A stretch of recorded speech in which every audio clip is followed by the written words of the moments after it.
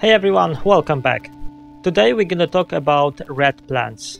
If you're a beginner and struggling with making your plants red or keeping red plants healthy, I will give you a complete guide about how do I make my plants to grow red and how do I keep them healthy. It's not difficult, just follow few basic steps.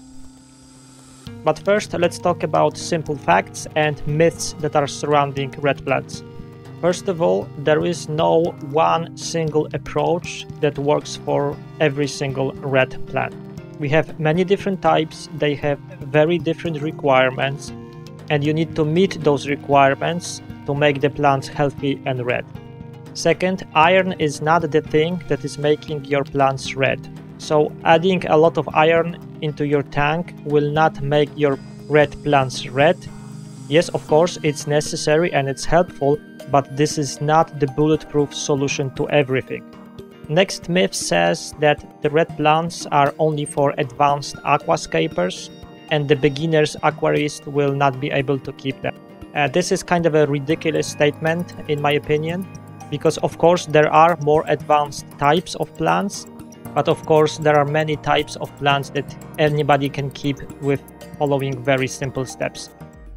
Okay, we covered few myths. It's time to cover some truths. Most of the red plants that you're gonna buy are going to be green at the beginning.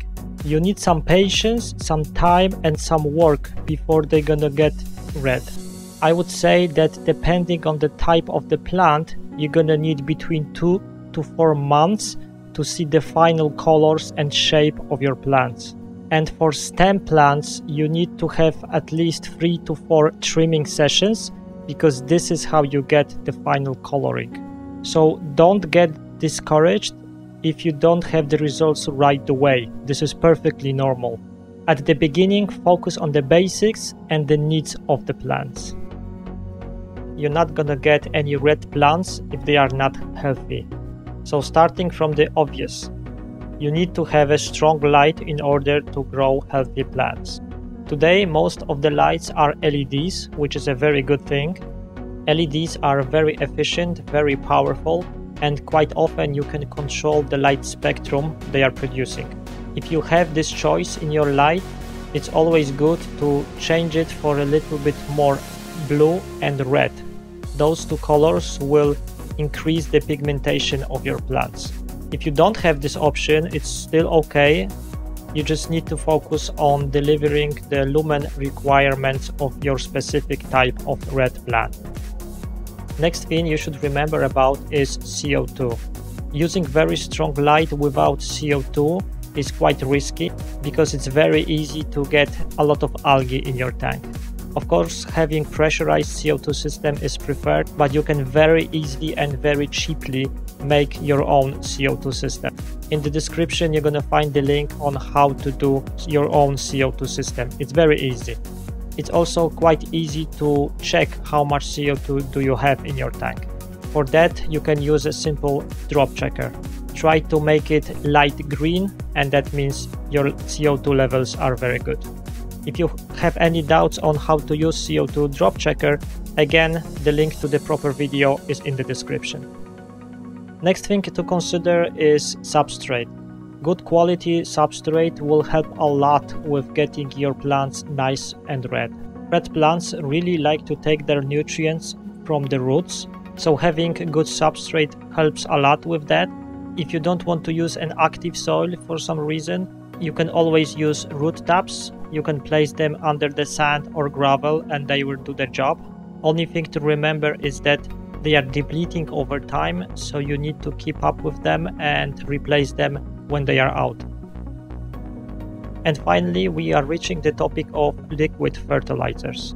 One of the methods of how to make your plants red is nitrate deficiency. And this is also exactly the method that I use to make my plants red and this is also what I would recommend if you're just starting with red plants or struggling with them. In this method, you are supposed to use only fertilizers that are low in nitrates. This method works only for certain types of plants and you should keep that in mind. I'm putting few examples on the screen right now. but one of those plants is Rotala H'ra, which I used for this tank and I will use as my example. So as you can see, it's starting to become a little bit more red and it happens with every trimming session. I have very rich substrate for this plant, but I'm not dosing any liquid fertilizers. So if you're looking for something red for your tank, Rotalas are very fast growing, they are easy to care for and very easy to get them red. So just to summarize, everyone can have red plants in their tank. Strong light, CO2 injection, very rich substrate and lean fertilization method, possibly with nitrate limitation. That's it. So if you want to add some color to your tank, just try it out.